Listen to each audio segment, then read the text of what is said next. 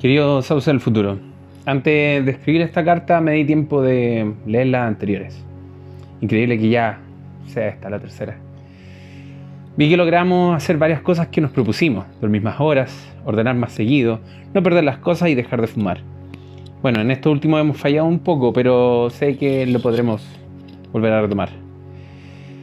También fallamos en simplemente hacer y no darle tantas vueltas, pero ya a estas alturas deberíamos aceptar que eso es parte nuestra. Pero también me di cuenta de algo que estaba muy mal. Esta carta no es para decirte lo que tienes que hacer. ¿Cómo voy a saber hoy lo que tienes que hacer tú, allá tan lejos? ¿Por qué te hago responsable de mí si no podrás ayudarme?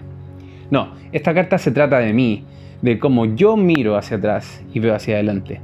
Se trata de los compromisos y que después tú verás si yo cumplí. No de las cosas que no hice y que debes hacerte cargo tú. No.